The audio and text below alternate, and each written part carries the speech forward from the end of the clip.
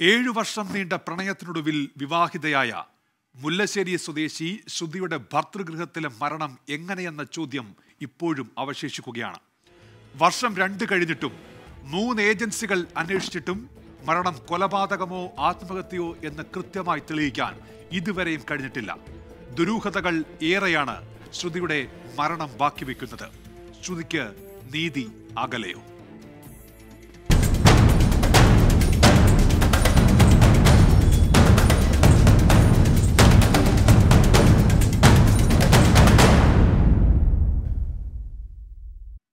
രണ്ടായിരത്തി ഇരുപത് ജനുവരി ആറിന് രാത്രിയിൽ ഭർത്താവ് അരുണിന്റെ വീട്ടിലെ കുളിമുറിയിൽ ശ്രുതിയെ മരിച്ച നിലയിൽ കണ്ടെത്തി എന്നാണ് ഭർത്തൃ വീട്ടുകാരുടെ മൊഴി.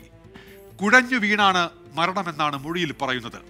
എന്നാൽ കുഴഞ്ഞു വീണല്ല ഈ മരണം എന്നാണ് പോസ്റ്റ്മോർട്ടത്തിൽ വ്യക്തമാക്കുന്നത്. വിദഗ്ധ ഡോക്ടേഴ്സിന്റെ സംഘം നടത്തിയ പരിശോധനയിലും വ്യക്തമായത് ഇതാണ്. ഇവിടെയാണ് സി ബി അന്വേഷണം വേണമെന്ന ആവശ്യത്തിന് പ്രസക്തിയേറുന്നത്.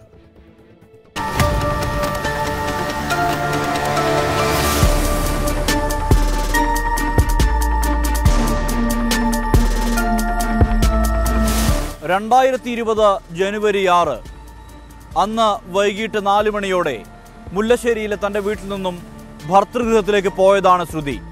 രാത്രിയിൽ മകൾക്ക് എന്തോ സംഭവിച്ചിട്ടുണ്ട് എന്ന വിവരമാണ് പിതാവ് സുബ്രഹ്മണ്യനെ തേടി എത്തുന്നത്. ആ ദിവസം ഓർത്തെടുക്കുകയാണ് സുബ്രഹ്മണ്യനും ഭാര്യ ശ്രീദേവിയും.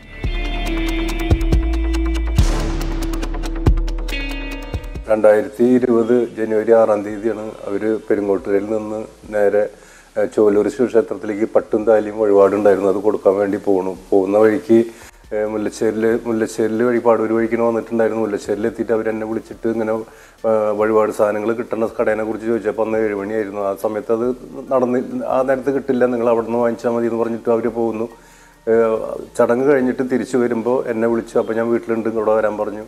ഇവിടെ വരുന്നു. ഇവിടെ വന്നതിന് ശേഷം മുല്ലശ്ശേരി പഞ്ചായത്തിൽ പോയിട്ട് മാരേജ് രജിസ്റ്ററിന്റെ കാര്യങ്ങൾ കഴിഞ്ഞു. അത് കഴിഞ്ഞ് ഇവിടെ വന്നിട്ട് ഭക്ഷണം കഴിച്ചിട്ടാണ് വീണ്ടും അവർ ഒരു നാല് നാലര മണിയോട് കൂടി വീട്ടിൽ നിന്ന് പോകുന്നത്. നാലരയ്ക്ക് ഇവിടുന്ന് ഇറങ്ങണു. ഇവിടുന്ന് ഇറങ്ങിയിട്ട് പിന്നെ അവർ അവിടെ ചെന്നതിന് ശേഷം പിന്നെ ഞാൻ അങ്ങനെ ഷോപ്പിലേക്ക് പോവുകയും ചെയ്തു. പിന്നെ ഇപ്പോൾ ഒരു എട്ട് മണിക്ക് ഞാൻ തിരിച്ചു വന്നിട്ട് മോൾ വിളിച്ചോന്ന് ചോദിച്ചിട്ട് നോക്കുമ്പോൾ പിന്നെ ഭാര്യ പറഞ്ഞു വിളിച്ചിട്ടൊന്നുമില്ല ഇവിടെ നാലരയ്ക്കല്ലേ പോയുള്ളൂ എന്നുള്ള നിലയ്ക്ക് പിന്നെ പിന്നെ ഭർത്താവിന്റെ കൂടെ അല്ലേ പോയിട്ടുള്ള നിലയ്ക്ക് നമ്മൾ പിന്നെ വിളിച്ചു ചോദിച്ചില്ല. പിന്നെ ഒൻപതര മണിക്ക് ഞാൻ ഭക്ഷണം കഴിച്ചിട്ട് ഇരിക്കുന്ന സമയത്താണ് അവർ കോൾ വരുന്നത് അരു അരുണിന്റെ അച്ഛന്റെ ശ്രുതി ഇങ്ങനെ ബാത്റൂമിൽ കുഴഞ്ഞു വീണു. പറഞ്ഞിട്ടാണ് അവർ വിളിക്കുന്നത്. അപ്പം ഞാൻ അങ്ങനെ പെട്ടെന്ന് ഒരു ഷോക്ക് മാറി എന്ത് ബാത്റൂമിൽ ഇപ്പോൾ പോയിട്ട് ഇങ്ങനെ പോയിട്ട് കുറച്ച് നേരം ആകുമ്പോഴേക്ക് ഒരു മൂന്നാൽ മണിക്ക് ബാത്റൂമിൽ കുഴഞ്ഞു കൊണ്ടൊരു യാതൊരു സാഹചര്യം ഇല്ലല്ലോ എന്നൊക്കെ ഞാൻ പറഞ്ഞിട്ട് നോക്കുമ്പോൾ "ഏഹ് പ്രത്യേകിച്ചൊന്നുമില്ല. അത് അബോധാവസ്ഥയിലാണ് അവർ പറയും ചെയ്തു. അപ്പോൾ അത് പാതുബ ഹോസ്പിറ്റലിലേക്ക് കൊണ്ടുപോയിട്ടുണ്ട്. എല്ലാവരും പോയിട്ടുണ്ടെന്നും ഞാൻ തനിച്ചാണ് ഇവിടെ എന്നുള്ള കാര്യം അവർ പറയുന്നുണ്ടായിരുന്നു.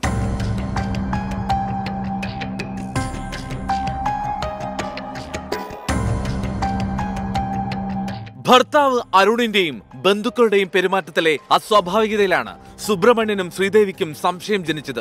എന്തൊക്കെയോ ഇവർ മറയ്ക്കാൻ ശ്രമിക്കുന്നുവെന്ന തോന്നൽ കൂടിക്കൂടി വന്നു. ഞാനും ഭാര്യയും കൂടി ഇവിടുന്ന് പോകാൻ തയ്യാറായിട്ട് പോകുമ്പോൾ പെങ്ങളെ മകനെ വിളിച്ചു. രണ്ട് മക്കൾ അനിയന്റെ മോനുണ്ടായിരുന്നു. അങ്ങനെ ഞങ്ങൾ ഇവിടുന്ന് ഒരു മുക്കാൽ മണിക്കൂറിനുള്ളിൽ ആ വീട്ടിൽ ഹോസ്പിറ്റലിലേക്ക് ചെല്ലണം പാത ഹോസ്പിറ്റലിലേക്ക് ചെല്ലണം അരുണിന്റെ ഒരു കൂട്ടുകാരൻ എനിക്ക് അവരെ കണ്ടിട്ടുണ്ട് ഞാൻ. കണ്ടാൽ തിരിച്ചറിയാന്നല്ലാണ്ട് നല്ല ഹൈറ്റുള്ള ഒരാൾ എന്റെ എന്റെ അടുത്ത് വന്നിട്ട് എന്റെ ഷോൾഡറിന് കൈ വെച്ചിട്ട് പറഞ്ഞു ഞാൻ പറയണത് ഉൾക്കൊള്ളാൻ തയ്യാറാവണം. അവൾ മരണപ്പെട്ടു എന്ന് പറഞ്ഞു.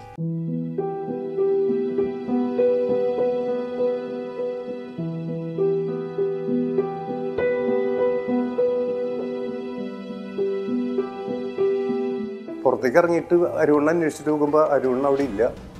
അരുണിന്റെ അമ്മേനെ ചോദിച്ചു അമ്മ അവിടെ ഇല്ല? അനുജനെ ചോദിച്ചു അവരില്ല അച്ഛനും ഇല്ല. ഈ നാട്ടുകാർ മാത്രമാണ് അവിടെ ഉള്ളത്. അപ്പോൾ ഈ കുട്ടി ഇപ്പോൾ വിവാഹം കഴിഞ്ഞിട്ട് പതിനാലാം ദിവസം ഈ കുട്ടി മരണപ്പെട്ടിട്ട് അവരെല്ലാം വന്നിട്ടുണ്ടെങ്കിൽ പോലും ഒരു അനാഥപ്രേതം വരെ ഉപേക്ഷിച്ച് പോകാൻ അവൾക്ക് ജന്മം നൽകിയ അച്ഛനമ്മയും വരുന്ന ഒരു സമയം വരെ കാത്തു നിൽക്കാൻ ആ കുടുംബത്തിൽ ആരും തയ്യാറായില്ല. അവർ ഇത്ര ധൃതി പിടിച്ച് വീണ്ടും ആ വീട്ടിലേക്ക് തിരിച്ചു പോയി എന്നുള്ള കാര്യം വളരെ വ്യക്തമായിട്ട് നമുക്ക് മനസ്സിലാക്കാവുന്ന കാര്യമാണ്. കാരണം അവിടെ എന്തൊക്കെയോ സംഭവിച്ചിട്ടുണ്ട് ആ തെളിവ് നശിപ്പിക്കേണ്ടത് അവരെ ലക്ഷ്യമായിരുന്നു എന്നുള്ള കാര്യം ആൾക്കാർ വരുന്നതിന് മുന്നേ അതെല്ലാം ഒളി ഇതാക്കണം. ആ കാര്യം തന്നെയാണ് അന്ന് ഉണ്ടായത്. നമ്മൾ സാധാരണ രീതിയിൽ മരിച്ചൊരു വീട്ടിൽ ലൈറ്റ് ഉണ്ടാവില്ലേ? അപ്പോൾ ഈ വീട്ടിൽ ലൈറ്റ് ഇട്ടുണ്ടായിരുന്നില്ല വെറുതെ ഇരുട്ടത്ത് വെറും ഡിം ലൈറ്റ് മാത്രം ഇട്ട് വെച്ചെടുക്കുക. പിന്നെ ഇവന്റെ പെരുമാറ്റങ്ങൾ തീരെ നമ്മുടെ അടുത്തേക്കൊന്നും വരണമൊന്നുമില്ല സാധാരണ രീതിയിൽ അസുഖം വന്ന് മരിച്ചു വെച്ചെങ്കിൽ ആ വ്യക്തിയെ ഞങ്ങളെ കണ്ട ഞങ്ങളുടെ അടുത്തേക്ക് വരില്ലേ? അങ്ങനെയൊന്നും ഉണ്ടായില്ല. നായ്ക്ക് ചോറ് കൊടുക്കണു വരണു അങ്ങനെ വളരെ പക്വതയിൽ അവൻ നിൽക്കുക. നമ്മുടെ അടുത്തേക്ക് വരണമൊന്നുമില്ല പിന്നെ നമ്മൾ ഈ റിപ്പോർട്ടും കാര്യങ്ങളൊക്കെ കിട്ടുമ്പോൾ ഇവിടെ മരിച്ചു കഴിഞ്ഞ് ഇവിടെ വരുമ്പോഴായാലും അവൻ അവന് പറയാനുള്ളത് അവന്റെ അമ്മോടൊക്കെ പറയണം. അമ്മ എന്തിനാ കരയണത്? എനിക്കും ഇനി ജീവിക്കണം. ഇങ്ങനെയാണ് ഈ വ്യക്തി പറഞ്ഞിരുന്നത്. മരിച്ചു കഴിഞ്ഞ് ചെതയിലേക്ക് എടുത്തതിന് ശേഷമാണ് ഇവൻ വളരെ ആക്റ്റീവായിട്ട് ഇവിടേക്ക് കയറി വരും. കുറേ അനാവശ്യങ്ങൾ ഞങ്ങൾ അടിച്ചു പൊളിച്ചു ജീവിച്ചു അങ്ങനെ ഇങ്ങനെയുള്ള കുറേ കാര്യങ്ങൾ നാട്ടുകാർ കേൾക്കിച്ചില്ലൊക്കെ ഇവൻ വിളിച്ചു പറഞ്ഞു. അങ്ങനെ ഒന്നും ഇവർ തമ്മിൽ ഒരു അടുപ്പ കാര്യങ്ങളോ ഒന്നും ഉണ്ടായി പുറത്തേക്ക് പോവുക അങ്ങനെ ഒന്നുമില്ല വീട്ടിലിരുന്ന് ഫോൺ വിളിക്കുക വർത്താനം പറയാന്നല്ലാണ്ട് അങ്ങനെ ഇവന്റെ കൂടെ പോവല കാര്യങ്ങൾ അങ്ങനത്തെ ഒരു കാര്യങ്ങളും എന്റെ ഓർമ്മയിലില്ല അങ്ങനെ ഒന്നുമില്ല ഒരു രൂപയുടെ മിഠായി പോലും വാങ്ങിച്ചു കൊടുത്തൊരു ചരിത്രം ഇല്ല.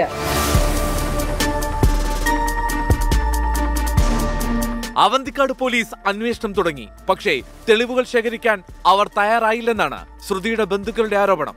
പല തെളിവുകളും നശിപ്പിച്ചതായും ആക്ഷേപമുണ്ട്. അന്തിക്കാട് പോലീസ് അട്ടിമറിച്ചു എന്ന് പറയുന്നത് അന്തിക്കാട് പോലീസ് സ്റ്റേഷനിൽ ഞാൻ മൊഴി കൊടുക്കാനായിട്ട് എന്നെ ആദ്യം വിളിച്ചു വരുത്തുന്നത് അബുബക്കർ എന്നുള്ള ഒരു ഗ്രേഡ് എസ് ഐ ആയിരുന്നു. അങ്ങോട്ടാണ് പരാതി കൊടുത്തതിന് ശേഷം ആൾ പിറ്റേ ദിവസം പത്ത് മണിക്ക് സ്റ്റേഷനിലേക്ക് വരാൻ പറഞ്ഞു. ഞാൻ ഇവിടുന്ന് ഒൻപത് മണിക്ക് ഇറങ്ങാൻ നിൽക്കുന്ന സമയത്ത് അങ്ങനെ കോൾ വന്നു. ഞാൻ ഇവിടെ ഹൈവേ പെട്രോളിങ്ങിൽ ചേറ്റുവ റോട്ടിലാണ്. അവിടേക്ക് വന്നാൽ മതി എന്ന് പറഞ്ഞു. അപ്പോൾ എന്നോടും അനുജനോടും മകനോടും കൂടിയിട്ടാണ് ചെല്ലാൻ പറഞ്ഞിട്ടുണ്ടായിരുന്നത്. അങ്ങനെ ഇപ്പോൾ ചേറ്റുവ റോട്ടിലേക്ക് ചെല്ലാൻ പറഞ്ഞു നോക്കുമ്പോൾ അത് എനിക്കെന്താണ് ചേറ്റുവ റോട്ടിലേക്ക് വരാൻ പറഞ്ഞുള്ള കുറിച്ച് എനിക്ക് ആശങ്ക ഉണ്ടായിരുന്നു പിന്നെ പോലീസുകാർ പറഞ്ഞു കഴിഞ്ഞാൽ നമുക്ക് എന്നുള്ള കണ്ടീഷൻ നമ്മൾ പോയി ചേറ്റുവ റോട്ടിൽ അഞ്ചാം കല്ല് സെന്ററിൽ നിന്ന് ഒരു പത്ത് മീറ്റർ മാറിയിട്ട് ഒരു ഇടിഞ്ഞു പൊളിഞ്ഞ് കിടക്കുന്ന ഒരു ഓലഷെഡിനകത്ത് ചായപ്പേടി ഉണ്ടത് അത്. അതിനകത്താണ് വിളിച്ച് ഇരുത്തിയിട്ട് ഈ മകളും അച്ഛന്റെ മൊഴി എടുക്കണം അന്തിക്കാട് പോലീസ്. അപ്പോൾ എന്റെയും അനുജന്റെയും മകന്റെ ഒക്കെ എടുത്തു. അപ്പോൾ അവൻ അന്ന് ജിമ്മിലായിരുന്നു എന്നുള്ള കാര്യങ്ങളൊക്കെ ഒരു അത് ന്യായീകരിക്കാൻ കഴിവിന്റെ പരമാവധി തെളിച്ചു.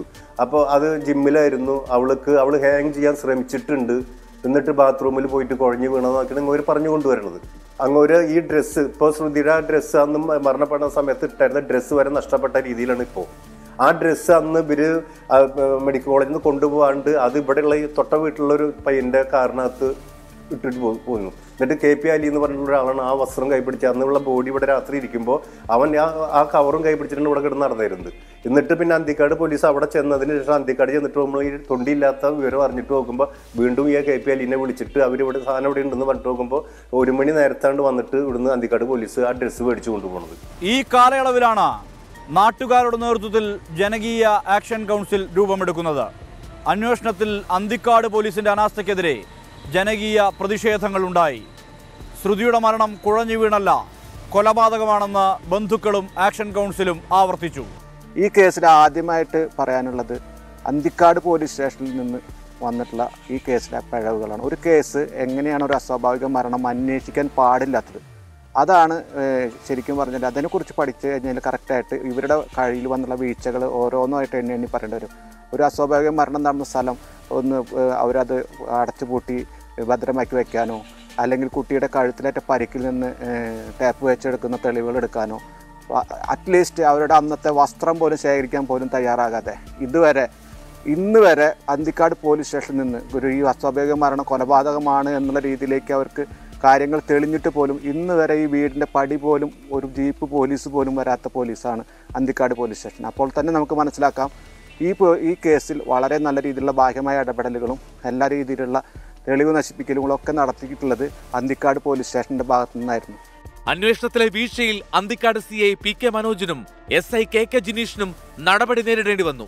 ഇരുവരെയും സർവീസിൽ നിന്ന് സസ്പെൻഡ് ചെയ്യുകയാണുണ്ടായത് ഇതോടെ പോലീസിന്റെ കൃത്യവിലോപം കുറെ കൂടി വ്യക്തമായി. ഈ ഒരു കൊലപാതകത്തെ വളരെ നിസ്സാരവൽക്കരിച്ചുകൊണ്ട് ആദ്യം മുതൽ തന്നെ രണ്ട് പോലീസുകാർ സസ്പെൻഷനിലായി.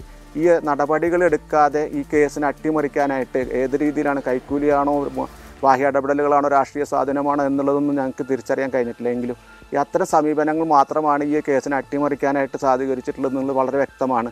അപ്പോൾ അത്തരം വ്യക്തികളെ അതായത് ഈ പോലീസിലെ രണ്ട് വ്യക്തികൾ മുമ്പേ സസ്പെൻഷനിലായ രണ്ട് ഉദ്യോഗസ്ഥരെ സംരക്ഷിക്കാൻ വേണ്ടിയിട്ട് ക്രൈംബ്രാഞ്ച് പോലീസ് പോലും ഈ കേസിനെ ഇപ്പോൾ വളരെ നിസ്സാരവൽക്കരിച്ചുകൊണ്ട് മുന്നോട്ട് പോവുകയാണ്. ഇതിനുശേഷം ജില്ലാ ക്രൈംബ്രാഞ്ചാണ് അന്വേഷണം ഏറ്റെടുത്തത്. അന്വേഷണ വഴികളിൽ ശ്രുതിയുടെ വസ്ത്രം അന്തിക്കാട് പോലീസ് നശിപ്പിച്ചതായും വ്യക്തമായി. അപ്പോഴും ശ്രുതിയുടെ മരണത്തിലെ അവ്യക്തത തുടരുകയായിരുന്നു.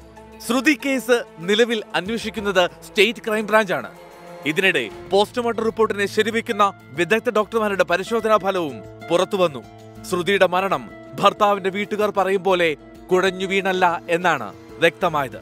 മരണം ശ്വാസം മുട്ടിയാണെന്നും കഴുത്തിലുണ്ടായ ക്ഷതവും മരണകാരണമായെന്നും കണ്ടെത്തലുണ്ടായി. പിന്നെ മെഡിക്കൽ കോളേജിൽ ചെന്നിട്ട് നോക്കുമ്പോൾ അവിടെ പരിശോധന നടന്നിട്ട് നോക്കുമ്പോൾ മനു ജോൺ എന്നുള്ള ഒരു പോലീസ് സർജനാണ് തുടക്കത്തിൽ തന്നെ ഇത് ശരിയല്ല കുഴഞ്ഞു വീണിട്ടുള്ളതല്ല എന്നുള്ള നിഗമനം അയാൾ കണ്ടെത്തിയിട്ടുണ്ടായിരുന്നു. ബാത്റൂമിൽ കുഴഞ്ഞു വീണിട്ടില്ല ശ്രുതിക്ക് കഴുത്തിൽ ഇങ്ങനെ പരിക്കുകളുണ്ട് തലയുടെ ബാക്ക് സൈഡിൽ പരിക്കുണ്ട് കൈയെല്ലാം നീല കളറായിട്ടുണ്ട്. ശ്വാസം മുട്ടിച്ചിട്ട് കൊലപ്പെടുത്തിയിട്ട് ഉള്ളതാണെന്നുള്ള കാര്യം വ്യക്തമായിട്ട് അങ്ങോര് നമ്മളോട് പറഞ്ഞു. അത് രണ്ട് രീതിയിൽ അങ്ങോര് കാരണങ്ങൾ പറഞ്ഞു. മുന്നിൽ നിന്ന് ഒരു അറ്റാച്ച് ഒന്നും ഒരു ഇടപെടലോ പിടിക്കലോ ഒന്നും ഉണ്ടായിട്ടില്ല. അങ്ങനെയാണെങ്കിൽ ഒരു മൽപ്പിടുത്തത്തിന്റെ ലക്ഷണങ്ങൾ ഇയാളെ ശരീരത്തിൽ ഉണ്ടാകുമായിരുന്നു എന്നുള്ള കാര്യം അങ്ങോട്ട് തുറന്നു പറഞ്ഞിട്ടുണ്ടായിരുന്നു. ഒടുവിൽ സി ബി ഐ അന്വേഷണം ആവശ്യപ്പെട്ട് ശ്രുതിയുടെ കുടുംബം ഹൈക്കോടതിയെ സമീപിച്ചു. എന്തുകൊണ്ടാണ് സ്ത്രീധന പീഡന കുറ്റം ചുമത്താത്തതെന്ന ചോദ്യം അന്വേഷണ സംഘത്തിന് നേരെ കോടതി ഉന്നയിച്ചു. ഒടുവിൽ ഗത്യന്തരമില്ലാതെ ശ്രുതിയുടെ ഭർത്താവ് അരുണിനെയും അമ്മ ദ്രൗപതിയെയും ക്രൈംബ്രാഞ്ച് സംഘം അറസ്റ്റ് ചെയ്യുകയായിരുന്നു.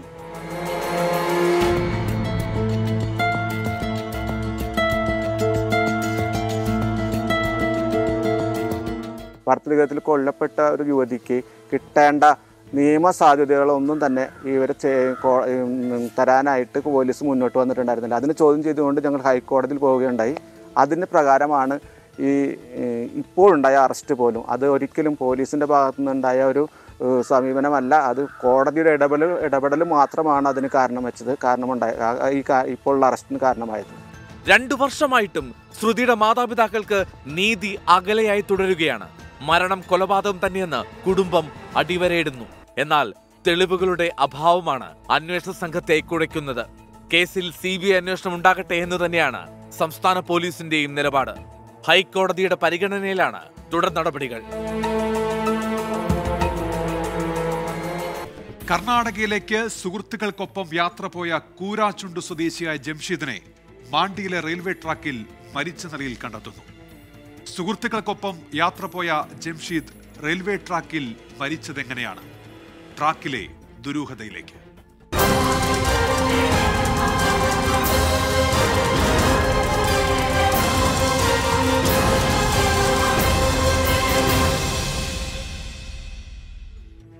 ജംഷീദിന്റെ മരണം ആത്മഹത്യയാണെന്ന് കർണാടക പോലീസ് പറയുന്നു.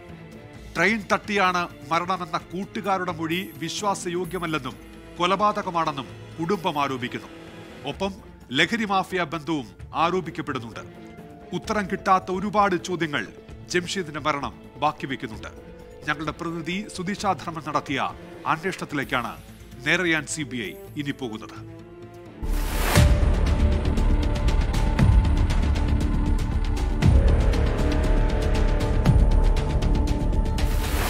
വിദേശത്ത് നിന്ന് അവധിക്ക് നാട്ടിലെത്തിയതാണ് ജംഷീദ്.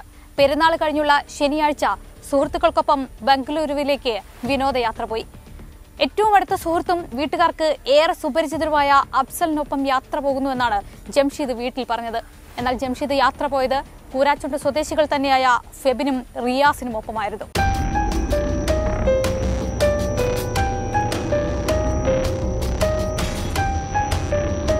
രണ്ടായിരത്തി ഇരുപത്തിരണ്ട് മെയ് പതിനൊന്ന് ബുധനാഴ്ച. ജംഷീദിന് അപകടം സംഭവിച്ചുവെന്ന വാർത്ത അറിഞ്ഞതിനെ തുടർന്നാണ് കുടുംബം മാണ്ഡ്യയിൽ എത്തുന്നത്. സുഹൃത്തുക്കൾക്കൊപ്പം വിനോദയാത്ര പോയ മകൻ ജംഷീദിനെ കർണാടക മാണ്ഡ്യയിലെ റെയിൽവേ ട്രാക്കിൽ മരിച്ച നിലയിൽ കണ്ടെത്തുകയായിരുന്നുവെന്ന് സ്ഥലത്തെത്തുമ്പോഴാണ് പിതാവ് മുഹമ്മദ് അറിയുന്നത്. അച്ഛനും റിയാസുമാണ് വന്ന് കൂട്ടിയെന്ന് പറഞ്ഞു. എന്റെ വീട്ടിൽ റിയാസിന്റെ വീട്ടിൽ പോയി അവിടുന്ന് വണ്ടി അവിടെ വെച്ചു. അവിടുന്നാണ് ഇവന്മാര് പിന്നെ എന്റെ കാറിനകത്ത് പോകുന്നത് രവിൻഷാന്റെ കാറിൽ പോകുന്നത് പോയി ഞായറാഴ്ച പുലർച്ചെ അവിടെ എത്തി. പത്താം തീയതി എന്നെ വിളിച്ച് പറഞ്ഞു അപ്പച്ചി ഇങ്ങനെ ഫോണ് മിസ്സായിട്ടുണ്ട്? ഫോൺ നഷ്ടപ്പെട്ടു പോയി എന്നാണ് പറഞ്ഞത്. അപ്പം ഞാൻ ഓർത്ത് എന്താണെന്ന് വെച്ച് കഴിഞ്ഞാൽ ഫോൺ നഷ്ടപ്പെട്ടു പോയാലും ഇവർ മൂന്ന് പേരുണ്ടല്ലോ. ഒരാളെ ഫോൺ നഷ്ടപ്പെട്ടാലും ബാക്കിയുള്ളവരുണ്ടല്ലോ. പേടിക്കേണ്ട ആവശ്യമില്ലല്ലോ. തിരികെ നാട്ടിലേക്ക് വരുമ്പോൾ മധൂരിൽ വെച്ച് ഉറങ്ങാനായി കാർ റോഡരികിൽ നിർത്തിയിട്ടു. ഉണർന്നപ്പോൾ ജംഷീദ് ഉണ്ടായിരുന്നില്ല. തുടർന്ന് പോലീസ് സ്റ്റേഷനിൽ അന്വേഷിച്ചപ്പോഴാണ് അപകട വിവരം അറിയുന്നത്. കാറിൽ നിന്ന് ജംഷീദ് സ്വയം ഇറങ്ങിപ്പോയതാണെന്നാണ് ഒപ്പം യാത്ര ചെയ്ത ഫെബിനും റിയാസും പറയുന്നത്. യാത്രയ്ക്കിടെ ജംഷീദിന്റെ പെരുമാറ്റം പലപ്പോഴും അസ്വാഭാവികത നിറഞ്ഞതായിരുന്നുവെന്ന് ഇവർ പോലീസിനോട് പറഞ്ഞിട്ടുണ്ട്. എന്നാൽ ജംഷീദിന്റെ മരണത്തിന് പിന്നിൽ സുഹൃത്തുക്കൾ ആണെന്നും ലഹരി മാഫിയ ബന്ധമുണ്ടെന്നുമാണ് കുടുംബം ആരോപിക്കുന്നത്. സുഹൃത്തുക്കളുടെ മൊഴി വിശ്വസനീയമല്ലെന്നും മകന്റെ മരണത്തിലെ ദുരൂഹത നീക്കണമെന്നാവശ്യപ്പെട്ട് പരാതിയും നൽകി. കാറിൽ നിന്ന് ഇറങ്ങി പോയത് പോലും എന്നോട് പറഞ്ഞില്ല. ഞാൻ അവന്റെ വാപ്പയല്ലേ. ഇവർ വീട്ടിൽ നിന്ന് കൂട്ടിക്കൊണ്ടുപോയി കഴിഞ്ഞാൽ അവൻ എന്തെങ്കിലും പ്രശ്നം ഉണ്ടാക്കി എന്ന് തന്നെ ഇരിക്കട്ടെ. എന്നാലെങ്കിലും എന്നെ വിളിക്കണ്ടേ? അതായത് എന്റെ എന്നെ എന്റെ വീട്ടുകാരെ ആരെയും വിളിച്ച് പറഞ്ഞില്ല. ഇവനിങ്ങനെ കാറിൽ നിന്ന് ഇറങ്ങി പോയിട്ടുണ്ട് അപ്പോൾ ഇതെല്ലാം കൂടി ആയപ്പോഴത്തേക്ക് ഞങ്ങൾക്ക് ആപ്പാട് സംശയമായി. മോനെ നമുക്ക് എത്രയും പെട്ടെന്ന് പിന്നെ മാണ്ടിയയിൽ വരെ പോകണം എന്ന് അപ്പോൾ ഞാൻ ചോദിച്ചു എന്താ സിറാജെ? അപ്പം മോന് ചെറിയൊരു വിഷയമുണ്ട് വേഗം പോകണം നമുക്ക്. ചെറിയൊരു ആക്സിഡന്റ് ആയിട്ടുണ്ട്. ഒരു ചെറിയ മുറിവുണ്ട്. അപ്പോൾ നീ മോമൊക്കെ വന്നാലാന്നാണ് പോലീസ് വിടുകയുള്ളൂ റിയാസ് പയേരി അവന്റെ കുടുംബക്കാരെ വിളിച്ച് പറഞ്ഞിട്ടുണ്ട്. അതിപ്പോൾ ഞങ്ങൾക്ക് ഇപ്പോൾ അടുത്ത് ഞങ്ങളോട് പറഞ്ഞതാണ് കുടുംബക്കാരെ വിളിച്ച് പറഞ്ഞു ഇമ്പിച്ചി മോമിന്റെ മോൻ ട്രെയിൻ തട്ടി മരിച്ചിട്ടുണ്ട്. അവന്റെ തലയില്ല ശരീരഭാഗങ്ങളൊന്നുമില്ല. എല്ലാം കൂടെ ചാക്കി കെട്ടേണ്ട അവസ്ഥയിലാണുള്ളതെന്ന് ഇവൻ പൊലച്ച വിളിച്ച് പറഞ്ഞു. അത് എന്റെ കുടുംബക്കാരെ. അപ്പോൾ ഇതെല്ലാം കൂടെ വന്ന് നോക്കുമ്പോൾ ഞങ്ങൾക്കിപ്പോൾ ആകപ്പാട് സംശയമായി. ഇതും കൂടെ കേട്ട് നോക്കുമ്പോൾ ഒരു പ്ലാന്റഡാണ് ഇവനെ കൊന്നത്. ഇവരെ ഇവനെ കൊന്ന് ഇവർ റെയിൽവേ ട്രാക്ക് കൊണ്ടുപോയിട്ടു എന്നിട്ടാണ് ഇങ്ങോട്ട് വിളിച്ച് പറയുന്നത്. അതായത് രണ്ട് വണ്ടി പോകുന്ന പാളായിരുന്നു. അപ്പോൾ ഇവരെ ഓർത്തു പിന്നെ ഇവർ ഇവർ കുണ്ടയിട്ട ട്രെയിൻ പാളത്തിൽ കൂടി ആ ട്രെയിൻ പോകാന്നുള്ള ധാരണ തന്നെ ആയിരിക്കും വീട്ടിലോട്ട് വിളിച്ചിട്ടുണ്ടാകുക ഇപ്പം എനിക്ക് തോന്നുന്ന സംശയം അതാ. അപ്പോൾ എന്തോ ദൈവാനുഗ്രഹം കൊണ്ട് ട്രെയിൻ അപ്പുറത്തെ പാളത്തിൽ കൂടെ പോയി എന്റെ മോന്റെ ബോഡി അങ്ങനെ തന്നെ കിടന്നു. അല്ലെങ്കിൽ എന്റെ ബോഡി അവർ പറയും പോലെ തീരെ ഒന്നും നോക്കാനുണ്ടാകില്ലായിരുന്നു ഭിന്ന ഭിന്നമായി പോകുമായിരുന്നു ജംഷീദാണ് യാത്ര പോകാൻ ആവശ്യപ്പെട്ടതെന്നാണ് സുഹൃത്തുക്കൾ പറയുന്നത്. കർണാടകത്തിൽ വെച്ച് രണ്ട് തവണ ജംഷീദ് ആത്മഹത്യാ പ്രവണത കാണിച്ചുവെന്നും ഒപ്പം യാത്ര ചെയ്ത സുഹൃത്ത് ഫെബിൻ പറയുന്നുണ്ട്. ശനിയാഴ്ച ഞായറാഴ്ച അവിടെ എത്തി ഞങ്ങളെ അടുത്തുനിന്ന് പോകുന്ന ജംഷീദ് എങ്ങോട്ട് പോയി എന്നുള്ളത് ഇപ്പോഴും ഞങ്ങൾക്ക് അറിയാത്ത കാര്യമാണ്. തിരിച്ച് അവൻ വരി വന്നിട്ട് അവനൊരു ആത്മഹത്യാ ശ്രമം നടത്തി എന്നാണ് ഞങ്ങൾ അറിയുന്നത്. ആ ശ്രമം നടത്തിയിട്ടുണ്ടെങ്കിൽ ഞങ്ങൾ ആ മാഫിയക്ക് ഇതിൽ ബന്ധമുണ്ടെന്നുണ്ടെങ്കിൽ മാഫിയക്കാർ അവിടെ ഉള്ളവരായിരിക്കണം അവന്റെ ബാഗും അവന്റെ പേഴ്സും ഒക്കെ മിസ് പേഴ്സും ഞങ്ങൾക്ക് കിട്ടിയിട്ടുണ്ടായിരുന്നില്ല. അപ്പോൾ അതൊക്കെ അവന്റെ വണ്ടി ആ കാറിലായിരുന്നു ഉണ്ടായിരുന്നത് പോയ കാറിലായിരുന്നു ഉണ്ടായിരുന്നത്. അവർ പറയുന്നത് എന്താ വെച്ച് കഴിഞ്ഞാൽ ട്രാക്കിൽ നിന്ന് അവരെടുത്തു എന്നാണ് പറയുന്നത്. അങ്ങനെ ഒരു ഈ ബോഡീന്റെ കൂടെ കിടന്ന സാധനമാണെങ്കിൽ അത് അവരെ കയ്യിലെത്താൻ പാടില്ലല്ലോ. അതൊരു വീഴ്ചയല്ലേ? കാരണം ഈ ബോഡീന്റെ കൂടെ കിടന്ന സാധനമാണെങ്കിൽ സ്റ്റേഷനിൽ വേണമല്ലോ എത്താൻ. അപ്പോൾ ഇത് ഇവരെ കയ്യിൽ എങ്ങനെ എത്തി? അതൊക്കെ സംശയമാണ്. സംശയമല്ല ഇത് ഉറപ്പിച്ച കാര്യമാണ് ഇത് കൊലപാതകമാണെന്നുള്ളത്. ബംഗളൂരുവിൽ നിന്ന് ജംഷീദ് മറ്റാരെയോ കാണാൻ പോയിരുന്നു. രണ്ട് ദിവസത്തിന് ശേഷം മറ്റൊരു റെയിൽവേ സ്റ്റേഷനിൽ വെച്ചാണ് വീണ്ടും ഒന്നിക്കുന്നതെന്നും ഒപ്പമുണ്ടായിരുന്ന ഫെബിനും റിയാസും പറയുന്നു. തിരികെ എത്തുമ്പോൾ ജംഷീദിന്റെ പക്കൽ ബാഗും മൊബൈൽ ഫോണും ഉണ്ടായിരുന്നില്ല. നഷ്ടപ്പെട്ടുവെന്ന് മാത്രമാണ് സുഹൃത്തുക്കളോട് പറഞ്ഞത്. ബാഗും മൊബൈൽ ഫോണും നഷ്ടപ്പെട്ട കാര്യം ജംഷീദ് വീട്ടിലും വിളിച്ചു പറഞ്ഞിട്ടുണ്ട്. ബാംഗ്ലൂരിൽ വെച്ച് ജംഷീദ് ആരെയാണ് കാണാൻ പോയതെന്ന് അറിയില്ലെന്നാണ് ഒപ്പമുള്ള സുഹൃത്തുക്കൾ പറയുന്നത്. ഇത് സംബന്ധിച്ച് യാതൊരു വിവരവും വീട്ടുകാർക്കുമില്ല. ഈ ദിവസങ്ങളിൽ എന്താണ് സംഭവിച്ചത്? ജംഷീദ് എവിടെയായിരുന്നു? ആർക്കൊപ്പമായിരുന്നു എന്നത് വ്യക്തമാകേണ്ടതുണ്ട്.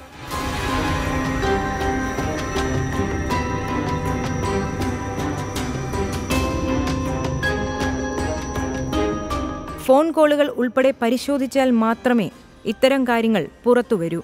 Mobile phone നഷ്ടപ്പെട്ടതിൽ ദുരൂഹതയുണ്ട്. ഇക്കാര്യത്തിൽ ഉൾപ്പെടെ വിശദമായ അന്വേഷണം വേണം. സംഭവത്തിന് പിന്നിൽ ലഹരി മാഫിയ ബന്ധവും കുടുംബം ആരോപിക്കുന്നുണ്ട്. കുടുംബത്തിന്റെ സംശയം ബലപ്പെടാൻ കാരണം ഒപ്പം യാത്ര ചെയ്ത റിയാസ് നിരോധിത ലഹരി മരുന്നുമായി പോലീസ് പിടിയിലായ വ്യക്തിയാണ് എന്നതാണ്. റിയാസ് പയേരി എന്ന് പറഞ്ഞ കക്ഷീനെ ബാലുശ്ശേരി വെച്ചിട്ട് പോകുന്നതിന്റെ ഒരു മാസം മുമ്പങ്ങ് ബാലുശ്ശേരി പോലീസ് പിന്നെ നിരോധിതമായ മയക്കുമരുന്നിന് പിടിച്ചതാണ് അപ്പോൾ അതിലുള്ള പ്രതിയാണ് ഈ റിയാസ്. റിയാസിനെ കാണുന്നത് തന്നെ ഫെബിൻ ഷായും റിയാസും എന്ന് അറിയുന്നത് തന്നെ ഈ അഫ്സൽ പറഞ്ഞവരാണ് ഫെബിൻ ഷാ ഉണ്ടെന്ന് അറിയുന്നത്. രണ്ടാമത് ഈ റിയാസിനെ കാണുന്ന എന്റെ മോന്റെ മരണവുമായിട്ട് ബന്ധപ്പെട്ട് മാണ്ടിയിൽ വെച്ചിട്ടാണ് അവിടെ പോലീസിന് മുമ്പ് ഇരിക്കുമ്പോഴാണ് ഇവനാണല്ലോ പഠിച്ചവൻ എന്റെ മോനെ കൂട്ടി വന്നത്. അപ്പം തന്നെ എനിക്ക് സംശയം ഉണ്ടായിരുന്നു. സംശയം തോന്നാനുള്ള കാരണം എന്ന് വെച്ച് കഴിഞ്ഞാൽ ഇവിടുന്ന് ബാംഗ്ലൂർ പോയി അവിടുന്ന് വണ്ടിയിൽ നിന്ന് ഇറങ്ങിപ്പോയി എന്ന് പറയുന്നത്. അപ്പോൾ അങ്ങനെ ഇറങ്ങിപ്പോയി കഴിഞ്ഞാൽ ഇവർ പോയി സ്വാഭാവികമായിട്ടും കൂട്ടുകാരല്ലേ? അപ്പം അന്വേഷിക്കണ്ടേ? പിന്നെ രണ്ടാമത് പിന്നെ കൈയൊക്കെ മുറിച്ചു എന്ന് പറയുന്നുണ്ട്. പക്ഷേ അങ്ങനത്തെ ഒരു പാടും കാര്യങ്ങളൊന്നും ശരീരത്തിലില്ല. പിന്നെ എന്ന് പറഞ്ഞു കഴിഞ്ഞാൽ അവന്റെ ഫോണ് മെയിനായിട്ട് ഫോൺ നഷ്ടപ്പെട്ടിട്ടുണ്ട്. പിന്നെ അവനിട്ട ഡ്രസ്സൊന്നും നമുക്ക് കിട്ടിയിട്ടില്ല. അവനിട്ട് അന്നിട്ട് എന്ന് പറയുന്ന ഡ്രസ്സല്ല മരിക്കുന്ന സമയത്ത് അവന്റെ ശരീരത്തിലുള്ളത്. നാല് വർഷമായി ഒമാനിൽ ജ്യൂസ് മേക്കറായി ജോലി ചെയ്യുന്ന ജംഷീദിന് ആത്മഹത്യ ചെയ്യേണ്ടതായ യാതൊരു പ്രശ്നങ്ങളുമില്ലെന്ന് സുഹൃത്തുക്കളും കുടുംബവും ഒരുപോലെ പറയുന്നു. ഗൾഫിൽ നിന്ന് വന്നിട്ടല്ലേ ഉള്ളൂ. ഇപ്പോൾ പോകാൻ വേണ്ടി നിൽക്കുവാണ് അപ്പോൾ അങ്ങനത്തെ ഒരു കാര്യത്തിനൊന്നും പോകേണ്ട ആവശ്യമില്ല. അവൻ പോകില്ല ആൾ കൂളാണ് അങ്ങനത്തെ പ്രശ്നങ്ങളും കാര്യങ്ങളൊന്നും ഇല്ലാത്ത ഒരാളാണ്. ഫുൾ ഹാപ്പി ആയിട്ട് നടക്കുന്ന ഒരാളാണ്. എനിക്കൊന്നും അറിയില്ല അവൻ ആത്മഹത്യ ചെയ്യേണ്ട ആവശ്യമൊന്നുമില്ല. മേ ബി അവിടുന്ന് ഒന്നര ദിവസം അവൻ മിസ്സിങ് ആണ്. അതാണ് ഒരിത് ട്രെയിൻ തട്ടി മരിച്ചതാണെന്നും ആത്മഹത്യയാണെന്നുമാണ് മാണ്ഡ്യ പോലീസ് നൽകുന്ന വിവരം. തലയ്ക്കും നെഞ്ചിനുമേറ്റ പരിക്കുകളാണ് മരണകാരണമെന്നാണ് പോസ്റ്റ്മോർട്ടം റിപ്പോർട്ട്. വാരിയെല്ലുകൾ ഒടിഞ്ഞിട്ടുണ്ട്. തലയുടെ എല്ല് പൊട്ടിയിട്ടുണ്ട്. തലച്ചോറിനും പരിക്കുണ്ട്. ശരീരത്തിൽ നിന്നും ഗ്രീസിന്റെ അംശം കണ്ടെത്തിയിട്ടുണ്ട്. ട്രെയിൻ തട്ടി ഉണ്ടാകുന്ന മരണങ്ങളിൽ ശരീരത്തിൽ ഗ്രീസ് കണ്ടെത്താറുണ്ടെങ്കിലും പോസ്റ്റ്മോർട്ടം റിപ്പോർട്ടിൽ ട്രെയിൻ തട്ടിയാണ് പരിക്കെന്ന പരാമർശമില്ലാത്തത് ദുരൂഹത വർദ്ധിപ്പിക്കുന്നുണ്ട്. പകരം ശക്തമായ ആഘാതത്തെ തുടർന്നുണ്ടായ ക്ഷതങ്ങൾ എന്നാണ് പരാമർശിച്ചിട്ടുള്ളത്. മരണസമയം പോസ്റ്റ്മോർട്ടം റിപ്പോർട്ടിലില്ല. ആന്തരിക അവയവങ്ങളുടെ രാസപരിശോധന നടത്തിയിട്ടില്ല. അതുകൊണ്ട് വിഷാംശമോ ലഹരി വസ്തുക്കളോ അകത്ത് ചെന്നിട്ടുണ്ടോ എന്ന് വ്യക്തമല്ല. ഇക്കാര്യം പരിശോധിക്കണം. രാസപരിശോധന വേണമെന്നും ജംഷീദിന്റെ മൃതദേഹം റീ പോസ്റ്റ്മോർട്ടം നടത്തണമെന്നും കുടുംബം മുഖ്യമന്ത്രിക്ക് നൽകിയ പരാതിയിൽ ആവശ്യപ്പെടുന്നു. പോസ്റ്റ്മോർട്ടം റിപ്പോർട്ടിൽ ഒന്ന് സമയം പറയുന്നില്ല. എപ്പോഴാണ് മരണം സംഭവിച്ചതെന്നുള്ളത് രണ്ടാമതെന്ന് വെച്ച് കഴിഞ്ഞാൽ റിപ്പോർട്ട് പറയുന്നത് തലയ്ക്കുള്ള അടിയും നെഞ്ഞത്തേറ്റ അടിയുമാണ് മരണകാരണം എന്ന് പറയുന്നത്. അതായത് മരണത്തിന് തൊട്ട് മുമ്പുള്ള പരിക്കുകളാണെന്ന് പറയുന്നുണ്ട്. അതെന്ത് സംഭവിച്ചു എന്താ പറ്റിയെന്നുള്ള ഇപ്പന്മാർ തന്നെ പറയണം. എനിക്കതാ പറയുന്നത് കർണാടക പോലീസാണ് കേസ് അന്വേഷിക്കുന്നത്. ജംഷീദിനൊപ്പം യാത്ര ചെയ്ത ഫെബിനെയും റിയാസിനെയും മൂവരുടെയും സുഹൃത്ത് അഫ്സലിന്റെയും മൊഴി പോലീസ് രേഖപ്പെടുത്തിയിട്ടുണ്ട്. കേസ് അന്വേഷണത്തിൽ മറ്റു പുരോഗതികൾ ഒന്നും ഇല്ലെന്നും കർണാടക പോലീസിന്റെ അന്വേഷണത്തിൽ തൃപ്തരല്ലെന്നും കുടുംബം പറയുന്നുണ്ട്. ജംഷീദ് ആത്മഹത്യ ചെയ്തുവെന്ന സുഹൃത്തുക്കളുടെ മൊഴി വിശ്വസനീയമല്ലെന്നും കൊലപാതകമാണെന്നുമുള്ള ആരോപണത്തിൽ ഉറച്ചു നിൽക്കുകയാണ് കുടുംബം. മകന്റെ മരണത്തിലെ ദുരൂഹത നീക്കണമെന്നാവശ്യപ്പെട്ട് ജംഷീദിന്റെ പിതാവ് കോഴിക്കോട് റൂറൽ എസ് പിയെ ഉൾപ്പെടെ സമീപിച്ചിരുന്നു. എന്നാൽ കേസ് അന്വേഷിക്കുന്നത് കർണാടക പോലീസ് ആയതിനാൽ കേരള പോലീസിന് ഇടപെടാനാകില്ലെന്ന മറുപടിയാണ് ലഭിച്ചത്.